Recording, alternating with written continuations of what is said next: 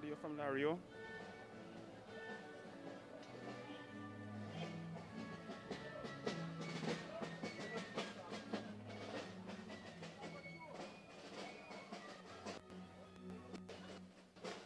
Hello.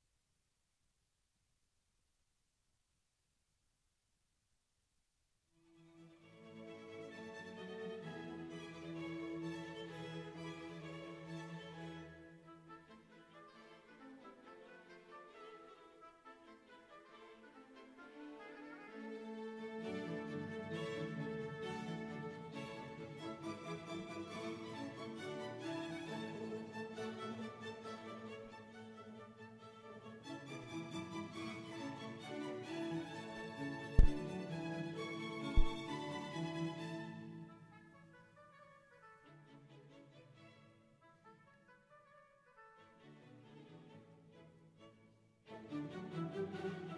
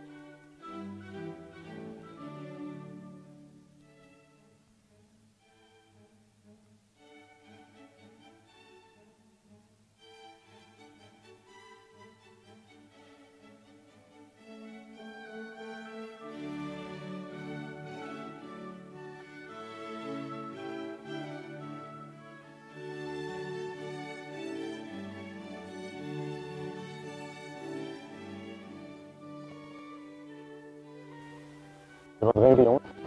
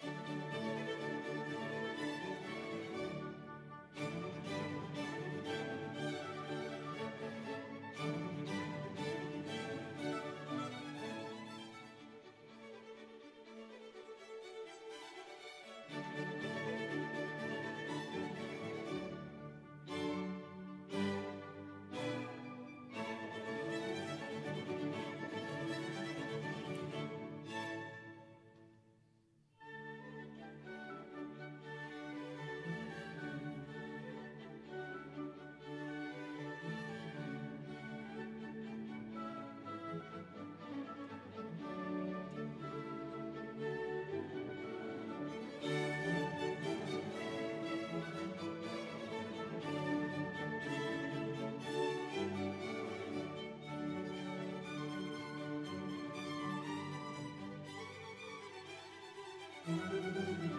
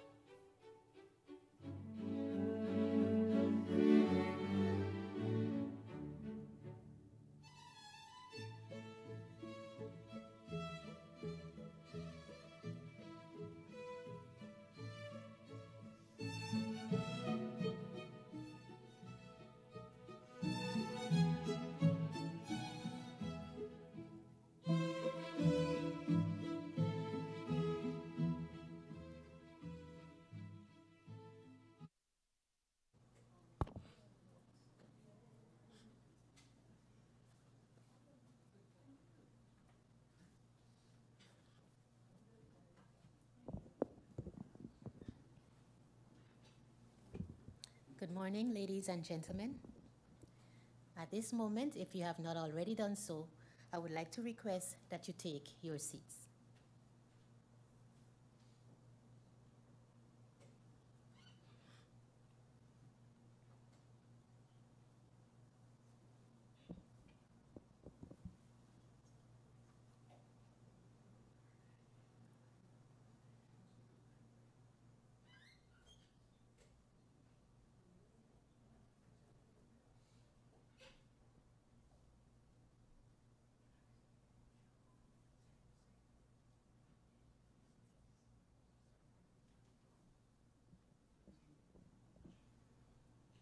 Distinguished guests, ladies and gentlemen, welcome to this ceremonial meeting on the occasion of the opening of the new parliamentary year that is about to commence. Allow me to make some announcements to ensure an orderly exit from the hall by all present when the meeting is closed. Right before the end of the meeting, His Excellency the Governor and his entourage will, will, will be escorted by the Reception and Departure Committee to the conference room. Upon the return of the committee to the hall, the President of Parliament will close the meeting. The President of Parliament and the Prime Minister will then leave the hall accompanied by the Secretary General of Parliament and the Secretary General of the Council of Ministers to join His Excellency in the conference room. This will be followed by the dignitaries representing the French side of the island. After that, members of parliament, ministers, and the remainder of the guests will leave the hall to make their way to the Saraswati Square to view the parade. Thank you for your attention.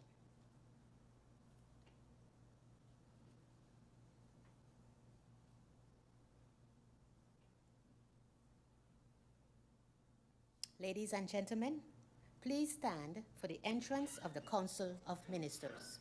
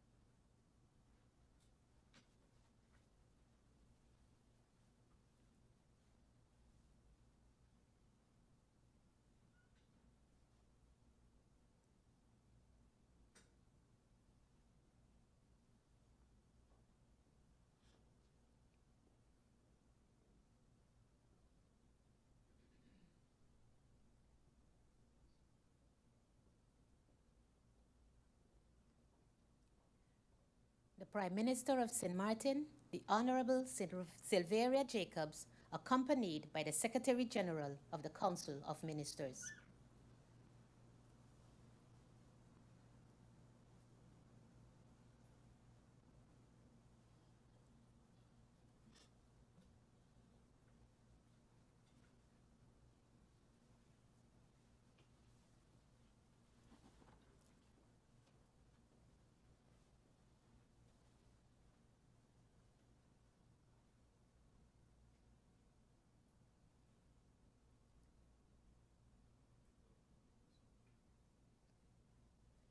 Ladies and gentlemen, please remain standing for the entrance of the President of Parliament.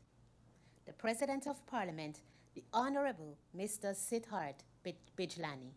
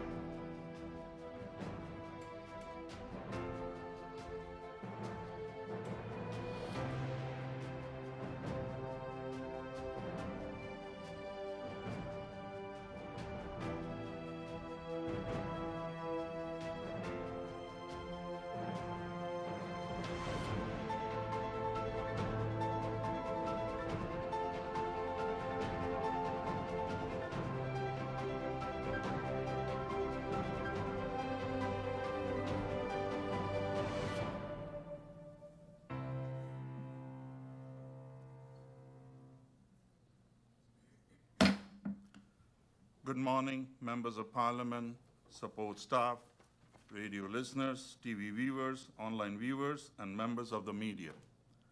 We have established a quorum of 13 members.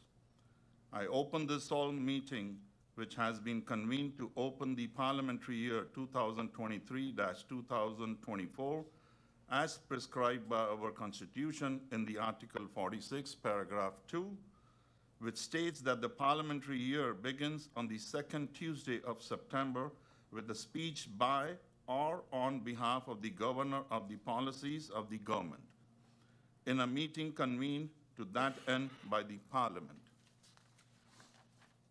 Please stand for a moment of silence.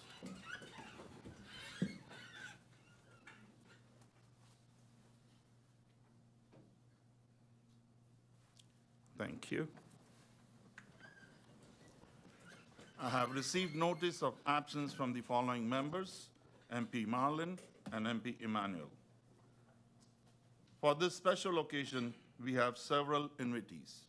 I would like to welcome the honorable members of parliament, the honorable ministers of Council of Ministers, the honorable vice president of the Court of Justice, the honorable president of the Constitutional Court, vice chair lady of the Council of Advice, chairman of the General Audit Chamber, ombudsman, vice chairperson of the Central Voting Bureau, chairperson of the Corporate Governance Council, chief public prosecutor, representative of the Council for Maintenance of Law and Order, representative of the Integrity Chamber, Secretary General of the Council of Ministers, Secretary General of the Courts, Secretary General of the Council of Advice, Secretary General of the General Audit Chamber, Secretary General of the Ombudsman, Secretary General of the Social Economic Council, Director of the Integrity Chamber, Secretaries General of the Ministers of Government, representatives of the Netherlands in St. Martin, Commander of the Military Detachment on St. Martin, Director of the Cabinet of Governor, Commander of the Voluntary Corps, VKS, Representative of the Coast Guard Support Station on St. Martin, Director of the Point Blanche Detention Center, Representative of the Department of the Legal Affairs and Legislation, President of the Youth Parliament, distinguished guests, ladies and gentlemen. I will now appoint the members of the Reception and Departure Committee. For this committee, I appoint MP Rolando Brison, MP Chanel Brownbill, and MP Ludmila De Weever. I will adjourn the meeting so the members of the Reception and Departure Committee can proceed to the entrance of the Parliament building and wait at the stairs to receive, the, receive and escort His Excellency, the Governor, and his entourage to the General Assembly Hall of the Parliament. I hereby adjourn this meeting.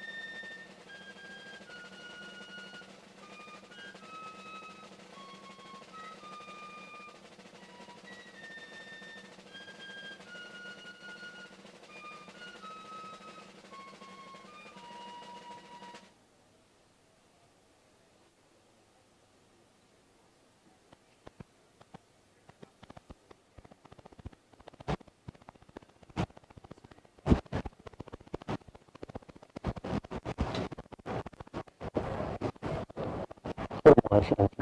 Suzanne Ik column van het wacht.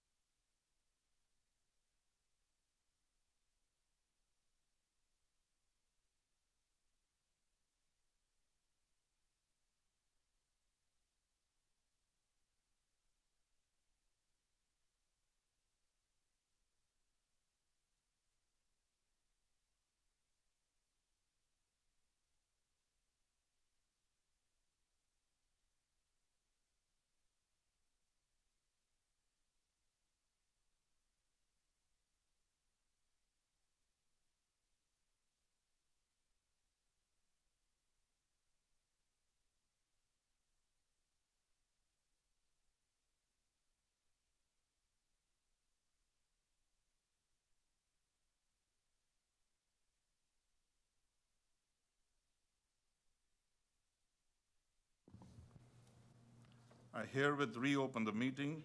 Please rise for the arrival of His Excellency the Governor.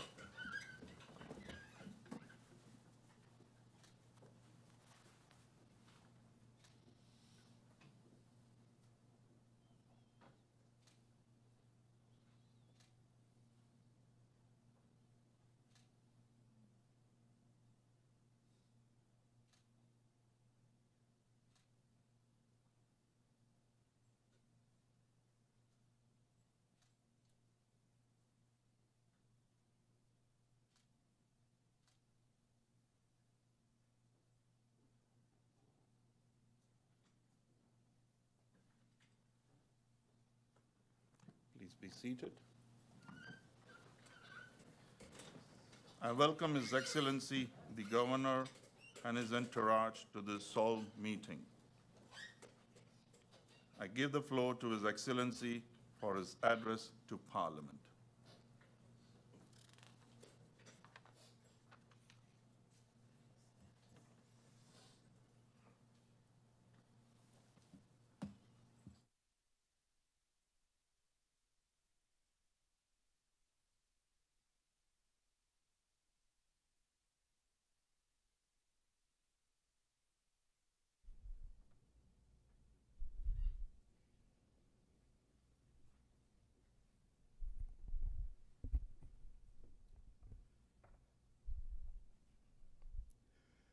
Mr. Chairman, members of parliament, good morning.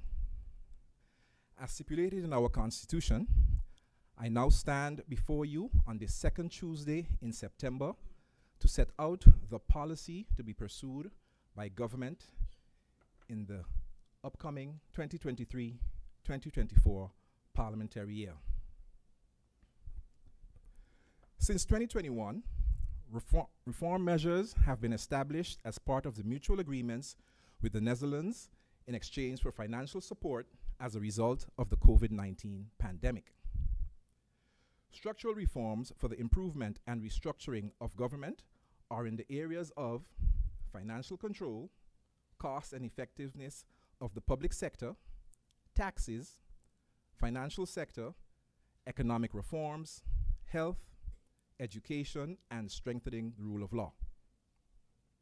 From the very beginning, the government of St. Martin has stressed the importance of the National Development Vision as instructions for all St. Martin development, including these reform measures. The areas for reforms connect with the development themes in St. Martin's National Vision.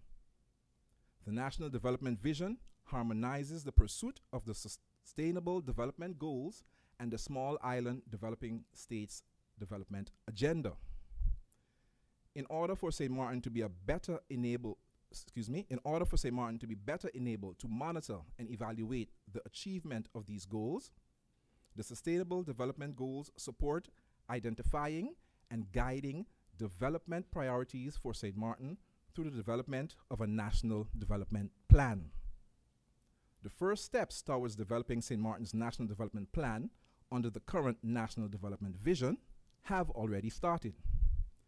There is agreement that anchoring all ongoing projects under the umbrella of the National Development Vision, resulting in a National Development Plan, would improve St. Martin's chances of anchoring a sustainable future. Further, with the financial and capacity support through the mutual agreement between the Netherlands and St. Martin on priority reform measures, this is the opportune moment for this development. It is government's aim and priority to present the National Development Plan in the first part of the year 2024.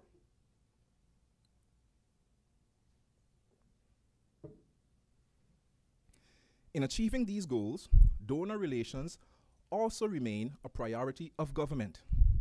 Funding has been secured mainly from the EU for several projects aimed at achieving the goals of the National Development Vision. In addition, the Department of Interior and Kingdom Relations in The Hague continues to build direct partnerships with stakeholders that are imperative to supporting the sustainable development of St. Martin. By building these relationships, advocacy and awareness is brought to the development needs and ambitions of St. Martin. Further in this context, Although we live on an island, no man is an island, as is proverbially said. As a small island, the capacity to achieve our goals unilaterally is limited.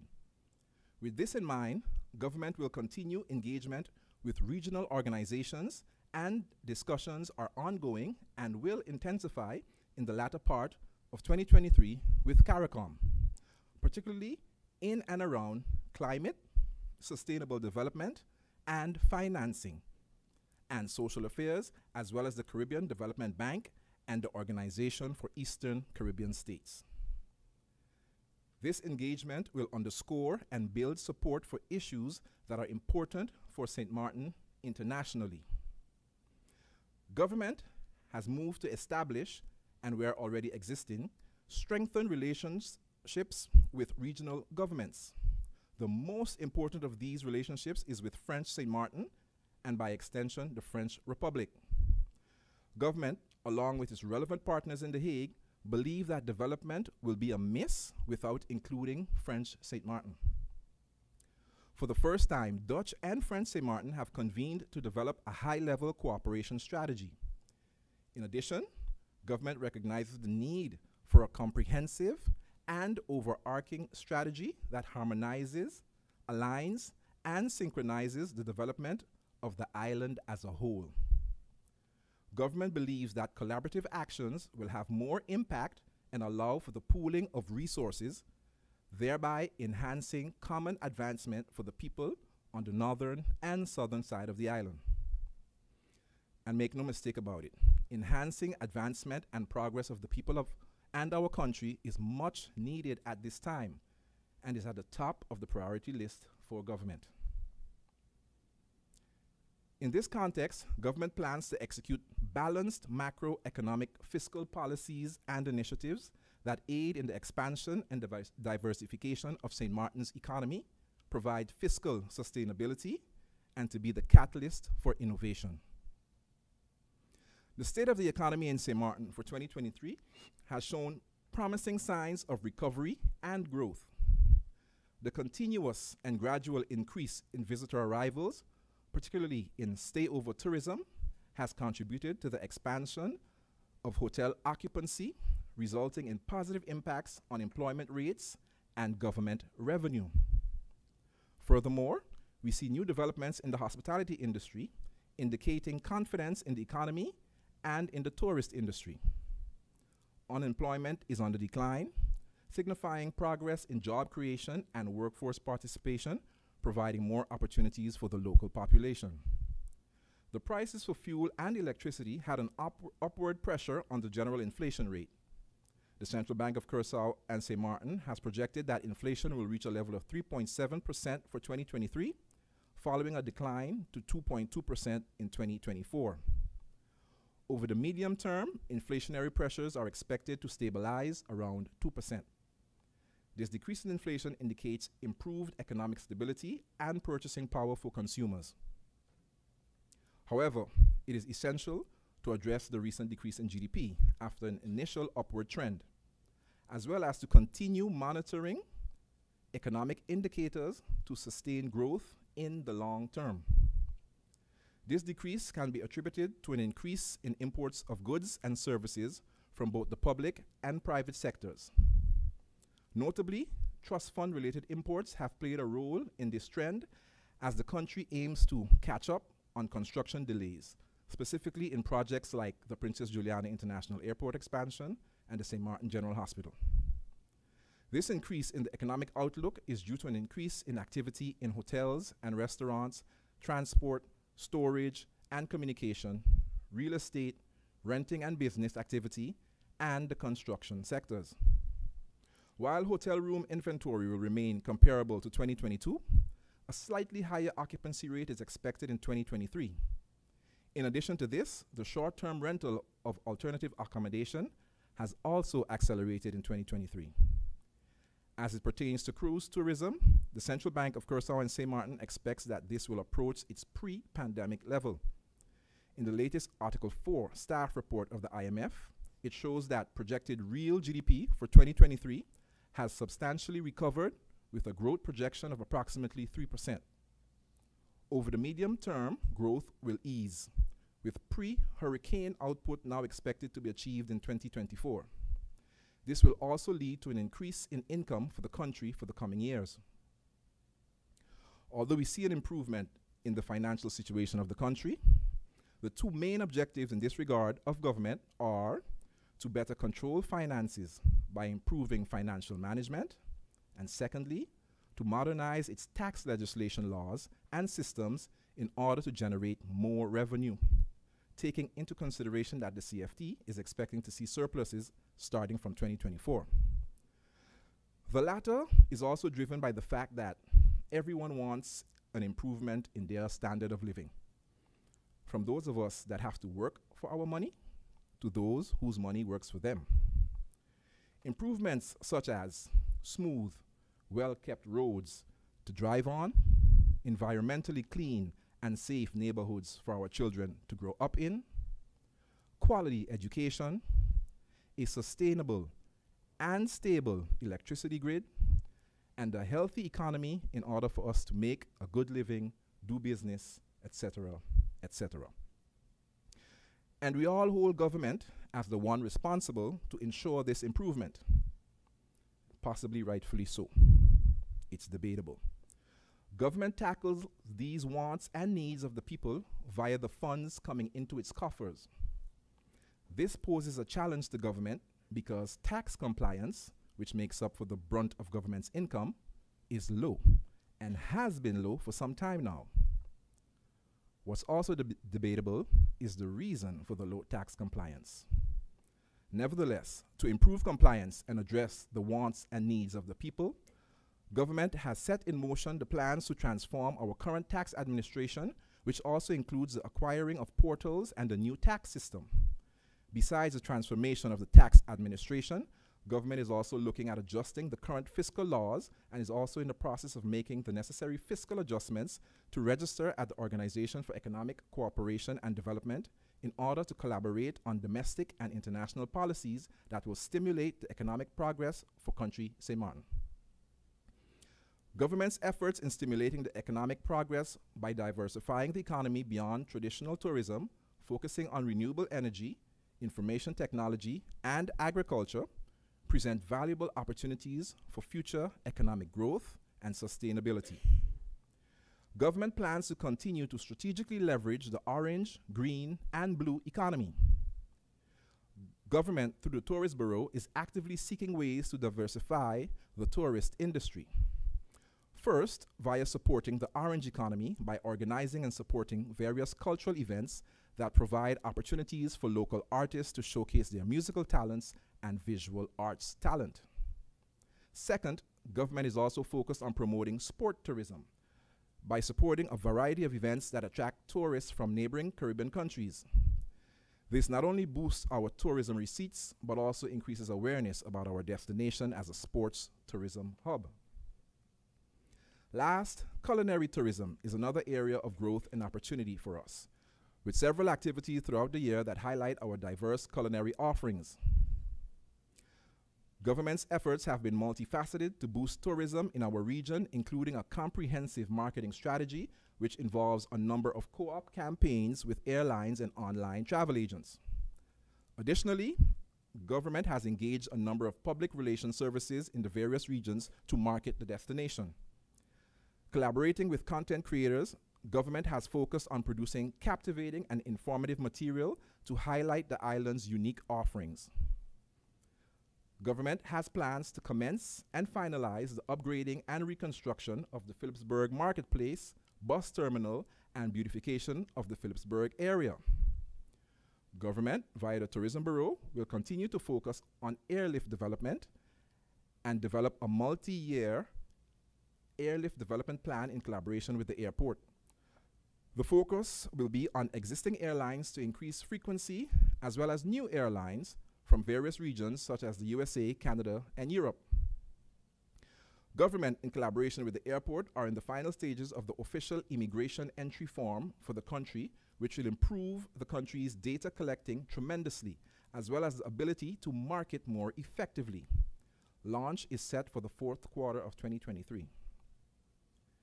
In the area of agricultural development, government's plans are execution of the Memorandum of Understanding with the other Dutch Caribbean islands territories to promote mutual agricultural development, support for farmers market, continued oversight by government of the implementation of the Agriculture in Schools project to promote agricultural education among students, and various other agricultural initiatives, including the Train the Trainer program in hydroponics, curriculum review to include agricultural science in the elementary and secondary schools, and the development of an online portal for agricultural livestock and fisheries. Small businesses are the engine of our economy because they are strong economic growth drivers. Government recognizes this and therefore supports this sector in the following manner. The small and medium sized enterprises Development Program will be transformed into an entrepreneurial development center with a focus on post startup services and support. Government has partnered with stakeholders to provide opportunities for micro businesses to showcase their products through fairs and events in Philipsburg at different intervals throughout the year. Government is also paying keen attention to the developments in the cruise industry regarding lowering their carbon footprint by consuming more sustainable energy and the possibilities this may offer the country by providing this sustainable energy to the many cruise vessels that visit our port. Despite these positive developments, St. Martin still faces significant challenges. The vulnerability to external shocks, such as natural disasters and global economic downturns, demands continued focus on disaster preparedness and building resilience. Emphasizing sustainable tourism practices will be crucial in preserving the environment and ensuring the tourism industry's longevity. Government plans on sustainable tourism practices and preserving the environment are as follows. Government plans to establish the establishment of a nature park encompassing the island of Little Key in Simpson Bay Lagoon.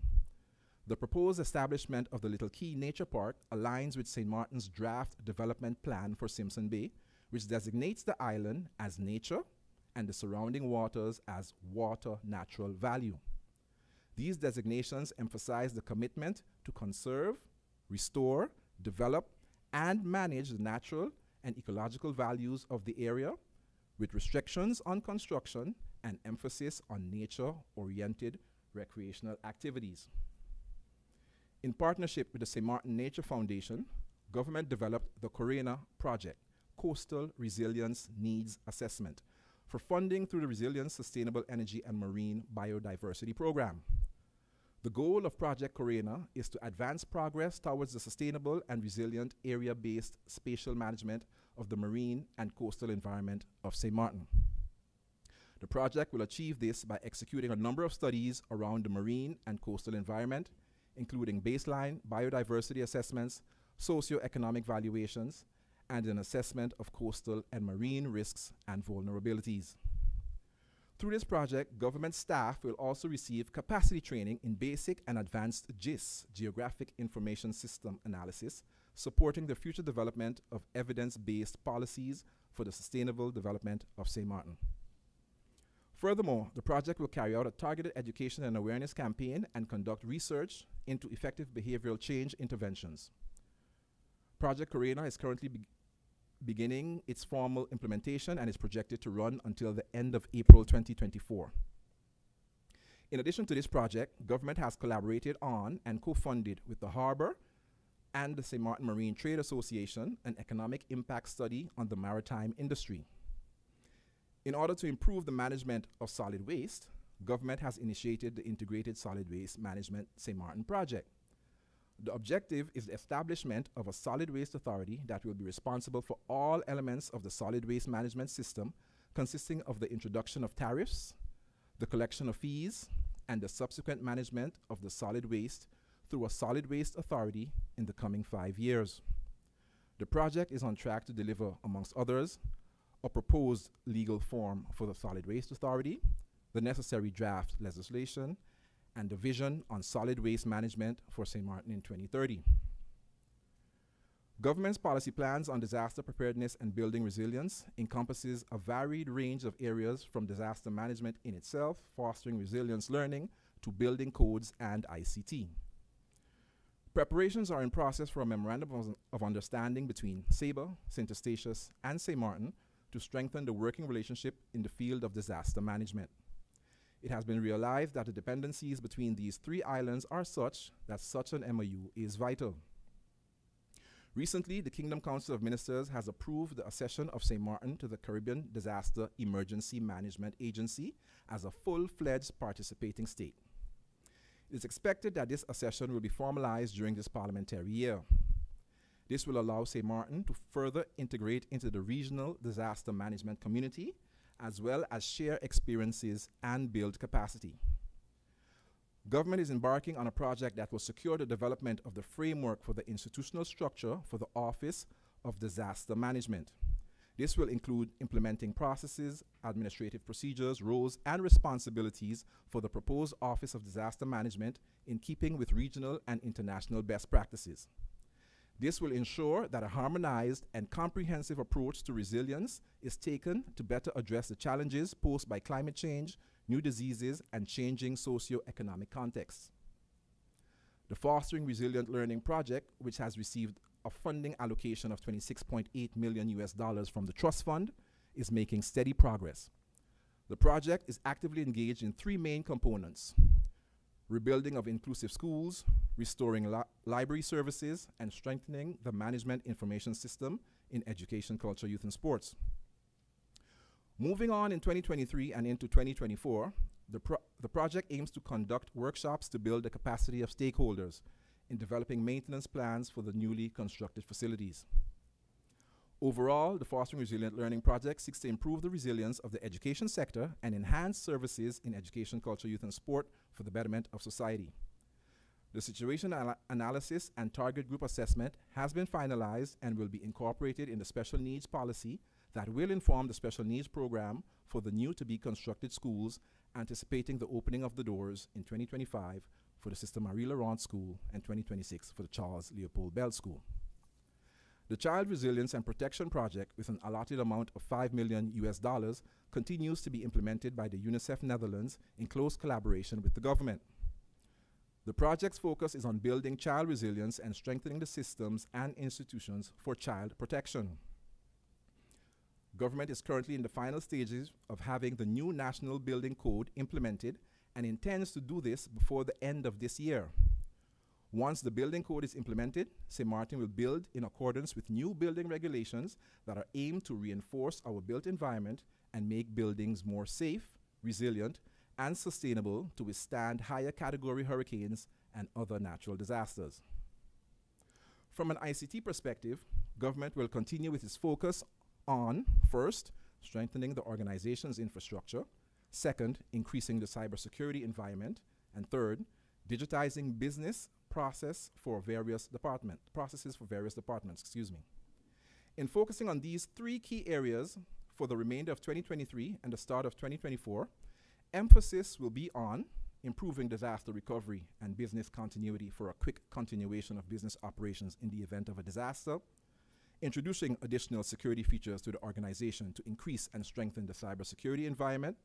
This includes introducing a cybersecurity awareness program for the organization and continued digitization of business processes throughout the organization to improve the efficiency of service delivery for both internal and external stakeholders. Improving the efficiency of service delivery for internal and external stakeholders is a priority for government this parliamentary year. In addition to improving service, the following policy initiatives should also go a long way towards eliminating the plaguing issue of different departments within government operating as organizational silos and the people being pushed from pillar to post. The phased launch of an online services for business licenses marks a significant step forward in streamlining the process and improving efficiency. Through careful restructuring of work processes, government aims to achieve higher levels of productivity and effectiveness and faster processing times for business owners, ultimately improving the level of service. Government will be implementing change management as a catalyst to improve service standards. Several key support divisions will be undergoing processes of change management within the coming months. The purpose of these initiatives will be to focus on capacity building and training, establishing standards, policy evaluation and implementation, improved shared services, internal and, and external clientele, asset management, digita- digitalized work processes, and the implementation of sound procurement and HR practices. The ultimate objective of this trajectory and part of the wider institutional reform initiatives is to ensure a collaborative, compassionate, service minded, transparent, effective, and cost efficient operation. With the Digital Government Transformation Project, government envisages a digitally enabled public sector that provides resilient, secure, and high quality services that are easily accessible by all citizens and businesses in St. Martin. Government strategy guiding this process is founded on six core principles. One, user-centric design and delivery of public services. Two, digital by default, yet inclusive and accessible. Three, single data requests. Four, trustworthy and secure. Five, open and transparent. Six, interoperability by default. In applying these principles, the government proposes an ambitious plan of activities for the next seven years built around four strategic objectives. These objectives are building a technologically empowered public sector, improving the quality, efficiency, security, and accessibility of public services, developing a modern legal and institutional framework, and ensuring that the public can access and use the new possibilities. In addition to this, government will be digitizing key historical government archive records to create a virtual archive, which will be accessible to the public. This digital government transformation project is funded by the Trust Fund. Another project funded by the Trust Fund is the Housing Project. St. Martin has long faced a crisis in affordable housing, a situation that was significantly intensified by the widespread destruction caused by Hurricanes Irma and Maria in 2017.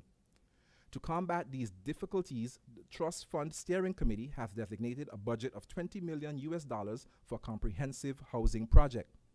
The scope of this project includes the following objectives.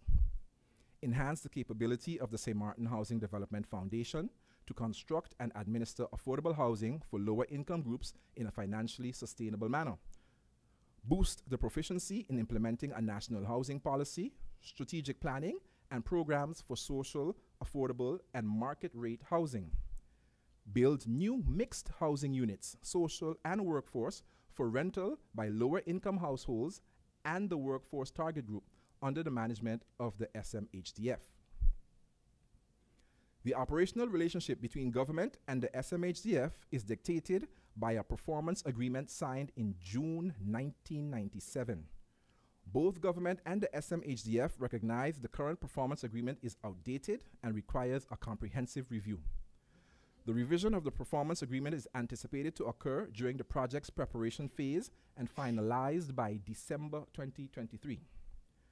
Government is also aiming at carrying out the following social programs. Government is committed to strengthening and expanding the safety nets available for the vulnerable population. This is done through the execution of various programs a few of which are the Social Registry, the Home Repair Program, Women Empowerment, and the Alzheimer's Conference.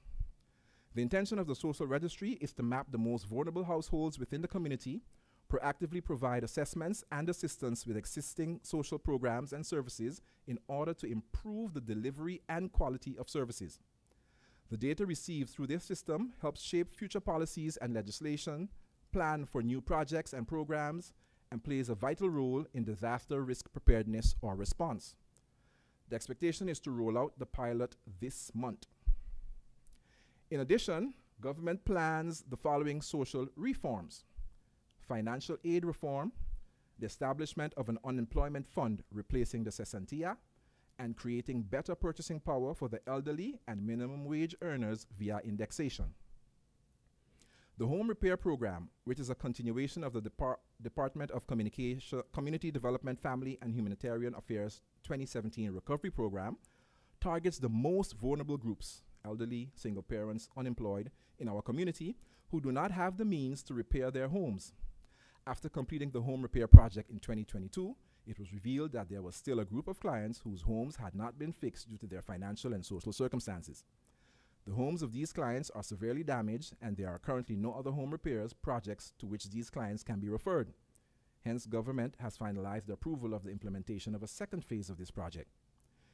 In response to the global issues such as domestic violence and violence against women and children, government executed empowerment programs that focus on women.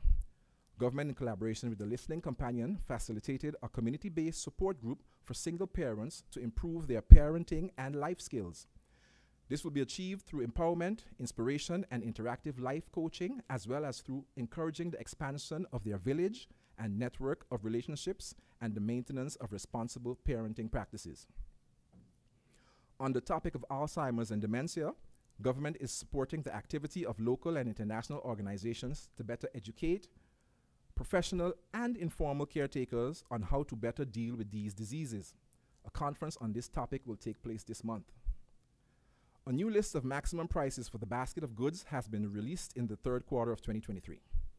Enforcement of this list is supported by an online platform in which community, the community can report any violation. Thus far, while both verbal and documented warnings have been issued, fines have not been imposed yet as government is allowing businesses to adjust to the new system.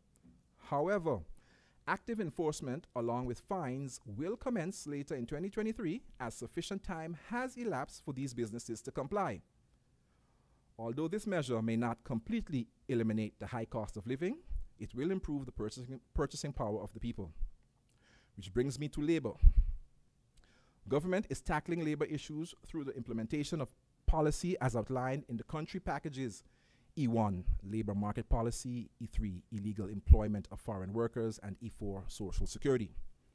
From the research conducted on labor market policy and social security, several recommendations have been highlighted that government aims to carry out.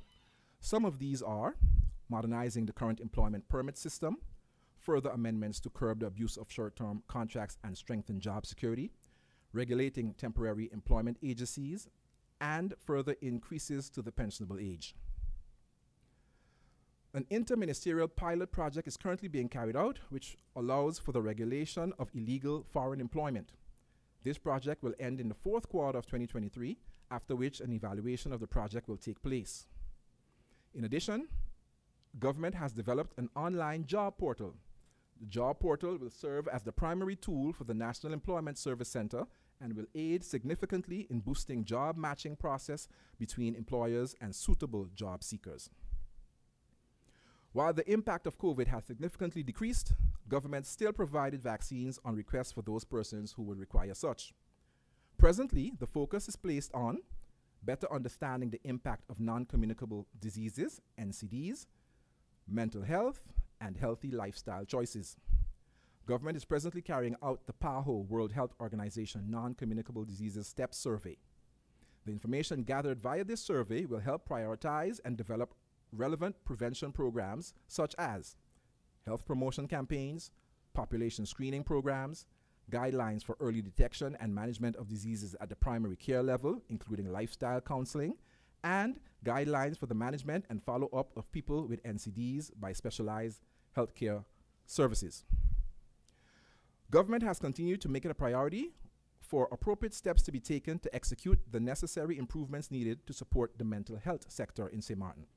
These steps include, but are not limited to, the development and improvement of legislation, policy, protocols, and ways of financing the various care products regarding mental health, the development of quality standards for mental health, conducting of various types of analysis and assessments related to mental health, the development of an updated national mental health plan, and the development and implementation of a mental health project via the National Program, Reco- National Recovery Program Bureau. Government is aiming to execute a healthy breakfast program which will impact healthy lifestyle choices for youth to be further carried out within their adult lives. Healthy lifestyle choices of the general public will be an important aspect of the success of the general healthcare insurance. Government aims to have this legislation passed before January 1st, 2024. On the topic of youth, for the remaining months of 2023, government will focus on finalizing and implementing the National Positive Parenting Support Program, which serves as a tool for enhanced child protection, the Violence Prevention Program, the promotion of meaningful youth participation among the youth population, and the development of a training plan for government workers and NGOs on the topic of integrating meaningful, meaningful youth participation. Following the completion and posting of the sport facilities policy in 2021, it was provided guidance for planned repairs being executed by the NRPB at the school gyms and sports facilities, as well as the planned upgrades of the field and the track at Raoul Illidge Sport Complex through capital investments. Government continues to support the sport organizations through the development of child safeguarding guidelines. During the fourth quarter of 2023, child safeguarding trainings will be conducted in collaboration with government and UNICEF with the coaches. In collaboration with NGOs and the private sector, government is striving to establish and promote Philipsburg as a cultural capital. This endeavor will be in close connection with organizing the creative industries as a viable alternative to the tourism industry. Intertwined with this undertaking is the aspiration to participate in the upcoming Carifesta and bring Carifesta to St. Martin before 2030. The repair work in schools for both students and staff has been ongoing, albeit at a gradual pace. Out of a total of 19 schools that required repairs, six of the most severely damaged ones have been successfully fixed. The remaining 13 schools are currently undergoing repairs and improvements. Additionally, the government has planned con- the construction of two new educational facilities, and these facilities are being designed with an inclusive education approach in mind. The focus is on retrofitting the new buildings to cater to the needs of even the most vulnerable students with diverse requirements. Government aims to establish a new learning institute that will serve to provide courses and training to its law enforcement professionals through established and recognized curricula. Continuous learning and lifelong learning, which will help foster a culture of perpetual professional growth and development, will be the pillars that the Law Enforcement Institute of St. Martin will rest upon. In 2023, the Professional Development Program for Teaching Professionals continued. The program assists school boards in providing opportunities for school teachers with dispensation to qualify as a teacher on St. Martin within two years. To improve the careers of teaching professionals further, government will continue with reviewing the education functions and the compensation in 2024. The development of the fleet tracking system for student transportation and the implementation of policy change for a more efficient, effective school busing service leads to the implementation of the digital system and the introduction of new busing agreements in the final quarters of 2023. A few of the policy and research topics government continues the development of are the policy and roadmap for reformed secondary education, the special needs education policy and roadmap for implementation, introduction of assessments of the primary and secondary education cycle, as well as a framework for the accreditation of higher education programs and institutes, institutions. Excuse me. As government continues its efforts to promote care and well being in elementary and secondary schools in order to identify distress among students, a digital screening tool was developed and is currently undergoing a pilot phase in four schools. Promoting care and well being as it relates to safety and security is high on government's list of priorities. Safety and security, or the lack thereof, has a negative effect, actually, a double whammy effect on our people. The lack of safety and security has a negative effect first on the well being of our people, and secondly, on our tourism product, which in turn negatively affects our economy, which again negatively affects the well being of the people. With this in mind, the persistent capacity issues at our prison are a top priority for government. As a result, government has been working on a new facility. The project consists of two phases, with phase one having officially started with the signing of the host country agreement at the beginning of the second quarter of 2023. The first phase of the project will cover a time span of approximately 20 months. The United Nations Office for Project Services has been tasked to carry out the activities to meet the goals and objectives of the new prison project. Government is in the process of finalizing a policy and strategic action plan for the violence prevention program, which will cover schools, daycare centers, and after school programs. Additionally, a communication strategy is being developed for the program. This program aims to ensure the safety and well being of children and youth in various educational settings. With the gaming and gambling reform, government aims to establish an independent gaming authority.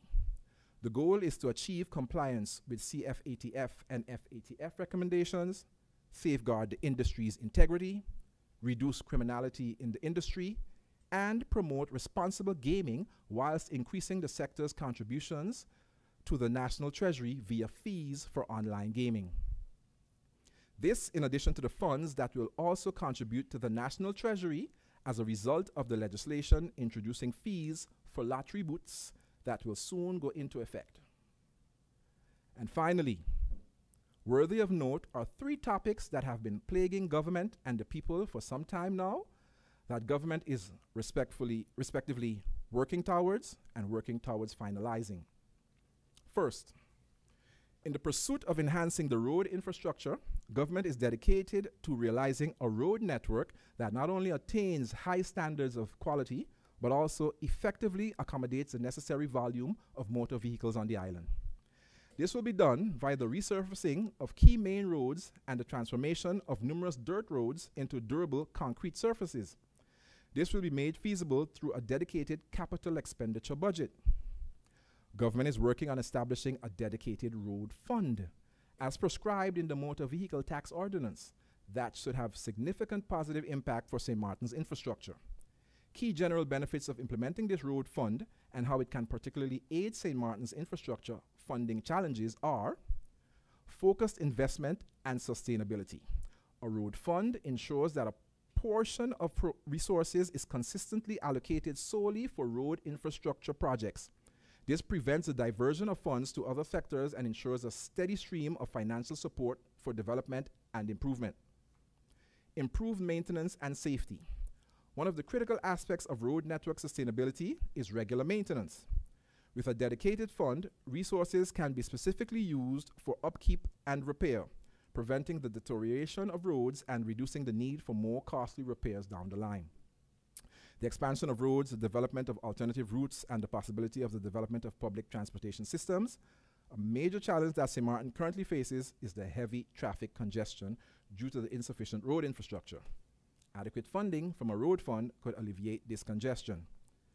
Second, government has embarked on the strengthening of corporate governance of the public entities via, but not limited to, amending the structure of the National Ordinance Corporate Governance and the Corporate Governance Code, establishing a corporate governance improvement plan, transforming the Corporate Governance Council into a corporate governance authority by expanding their role and responsibility, and investing in training young professionals to become effective supervisory board members.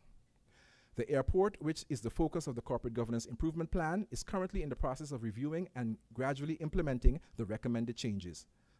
The, project ex- is expected to be completed by mid 2024.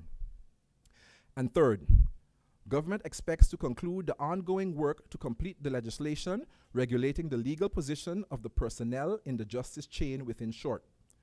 A budget amendment to that effect will be presented to Parliament for approval. Once this process is finalized, the commencement of the issuing of the national degrees can take place. Mr. Chairman, members of Parliament, our economy is recovering well, and we are seeing a positive impact on the revenue of the country, with pre Hurricane Irma output now finally expected to be achieved in 2024, leading to an increase in income for the country for the coming years, with the CFT expecting to see surpluses starting from 2024. This, for a great part, due to government's commitment to sound financial management, to the measures as outlined in the country packages, and the financial injection through liquidity loans and the trust fund, but also due to a stable and consistent government for soon to be a complete governing term, due in part to the commitment of government, but also the commitment and support of this esteemed body. But we are not there yet. Although the outlook is positive, this has not yet trickled down to the average Joe and Jane on the street. So much remains to be done. It will take the continued effort of government, parliament, the private sector, and the IGOs, NGOs, service clubs, and all the people of St. Martin, the entire village, to achieve, maintain, and sustain a brighter tomorrow for us all, all, and for generations to come. Mr. Chairman, members of parliament, in this new parliamentary year, government will once again present you with various legislative initiatives towards the execution of its plans and realization of its objectives. As representatives of the people of St. Martin, government looks forward to fruitful, efficient, and effective dialogue, as well as your committed participation. This with the aim of garnering your support to serve the public interest on behalf of the people of St. Martin. Mr. Chairman, members of Parliament, congratulations on the opening of the 13th parliamentary year 2023 2024. I wish you much success in this new parliamentary year, and I sincerely pray for your wisdom and discernment. Thank you. God bless you and yours, and God bless our great village, St. Martin.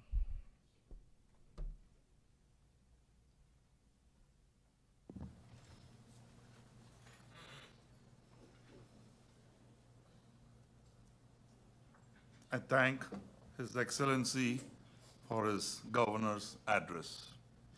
With this distinguished guest, I declare the parliamentary year 2023-2024 officially open. I would like to ask the Reception and Departure Committee to accompany His Excellency the Governor and his entourage to the conference room. Please rise for the exit of His Excellency the Governor.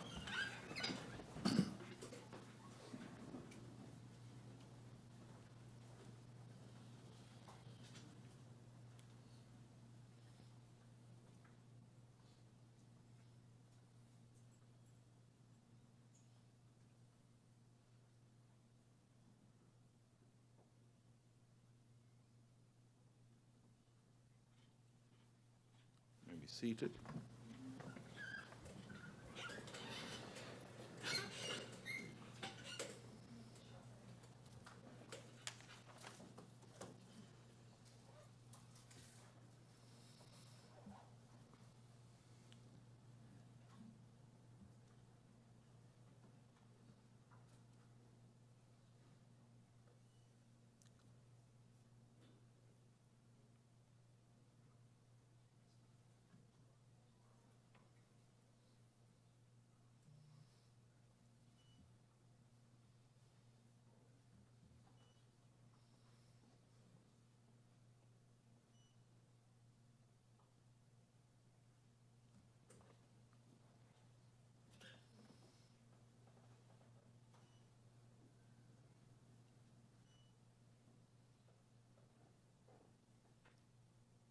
I would like to thank the reception and the departure committee for the splendid execution of their task.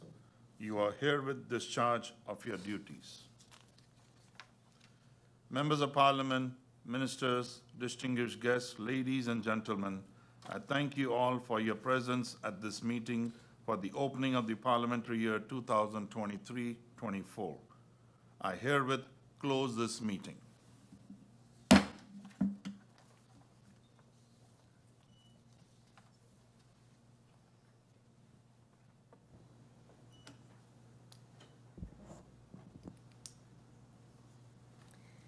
Ladies and gentlemen, please remain seated as the President of Parliament and the Prime Minister, accompanied by the Secretary General of Parliament and the Secretary General of the Council of Ministers, exit the hall.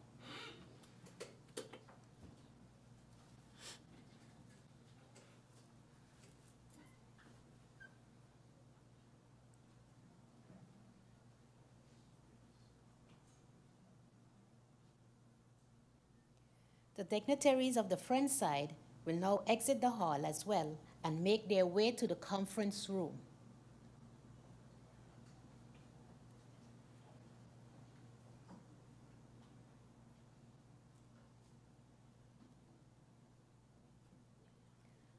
I would now like to invite the members of parliament to leave the hall.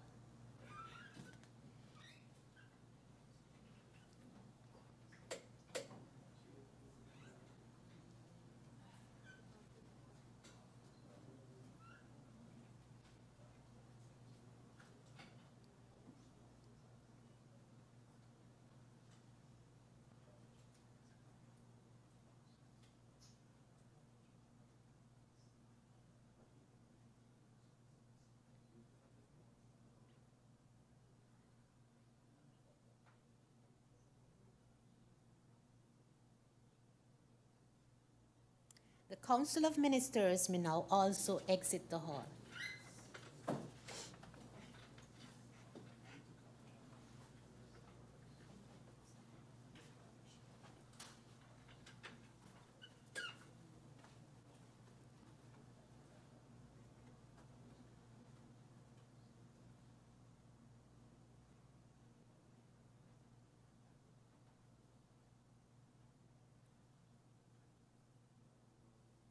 Ladies and gentlemen, we thank you for your patience.